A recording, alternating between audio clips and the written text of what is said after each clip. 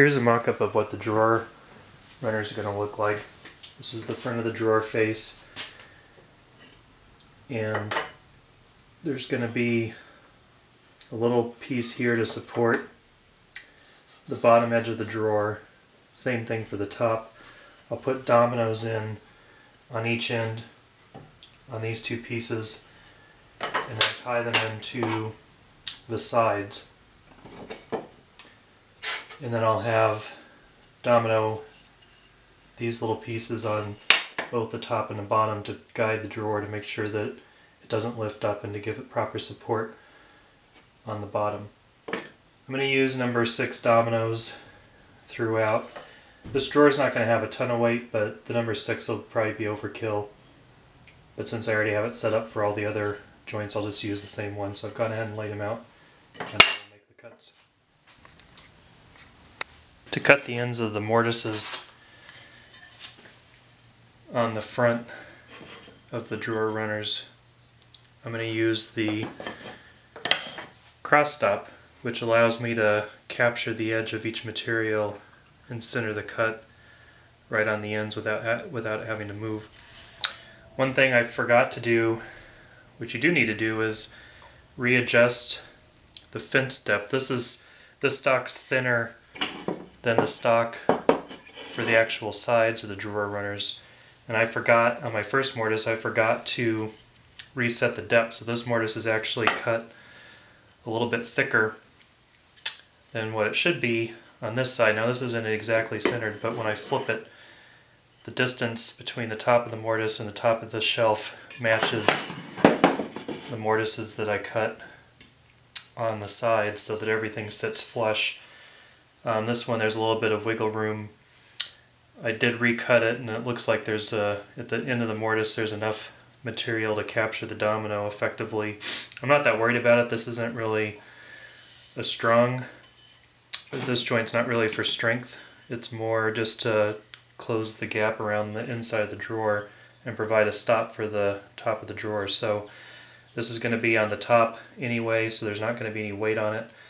And um, it is secured on one side properly, just the other side's a little loose, so I'll live with it, but you know, the, uh, important thing is to remember to check the thicknesses of all your material and set the fence accordingly so you don't have this problem. I've Got the end of the stock secured with the clamping elements, and I'm going to go ahead and make the cut.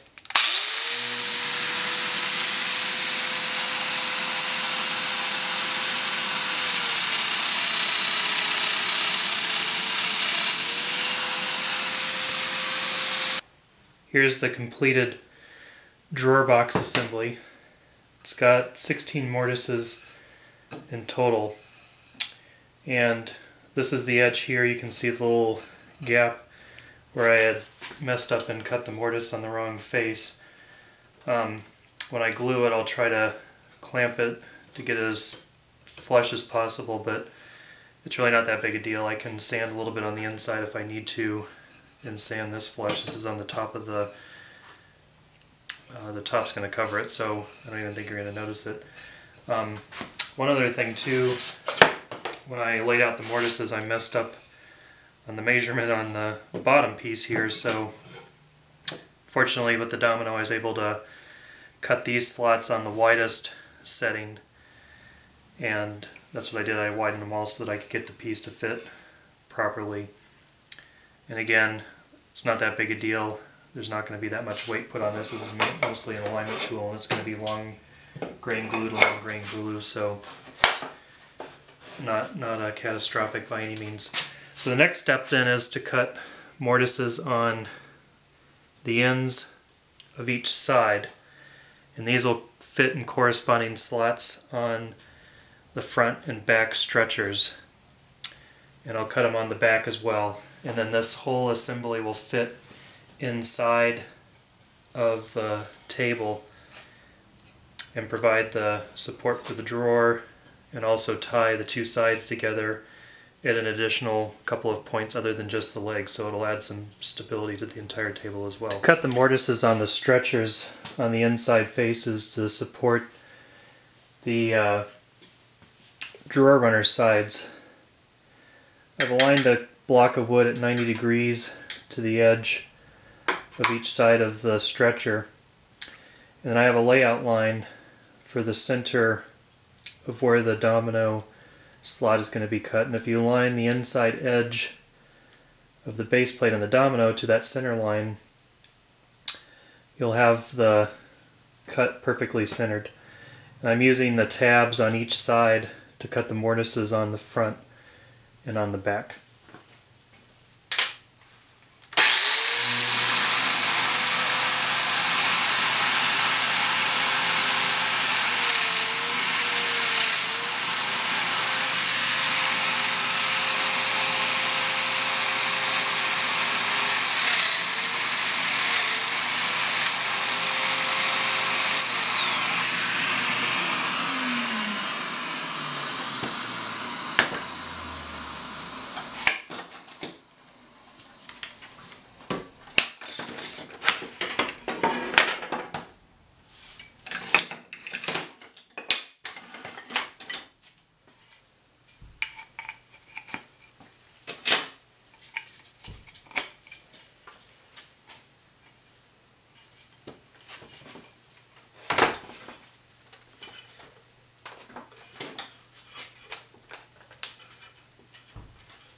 And it's perfectly uh, positioned on the inside of the drawer front. Well, the drawer assembly is done. I fit the stretchers to the assembly itself. Everything lines up. I added some 4mm dominoes across the top and the bottom edge and across the top and bottom of the support. And that's just going to help strengthen these two sections and keep them from bowing in or out as the season moves and also assure that I've got clearance for the drawer front. There's a lot going on here with all the mortises that I've cut and so what I've decided to do is glue the drawer assembly up as one complete unit and then I'll add, once that's dry, then I'll add the tenons to the ends of each side and glue that to the stretchers whenever I'm ready to assemble the table.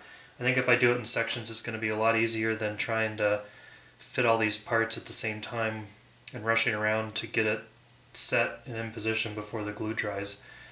So I'm going to do some light sanding and start the glue up assembly of this. One thing I want to make sure that I do too is sand the inside of the drawer because once it's assembled it's going to be tough to sand with the drawer assembly, the runners here that are raised a little bit from the front of the drawer edge. So I'll get that sand, sanded, do some light sanding on the inside of the assembly, glue the assembly up, and then work on the top.